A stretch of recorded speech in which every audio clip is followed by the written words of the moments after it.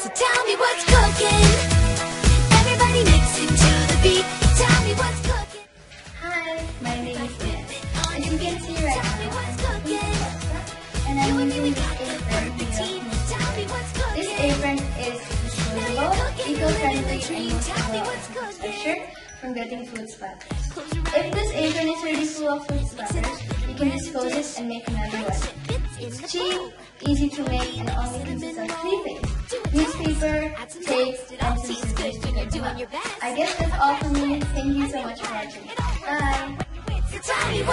Bye!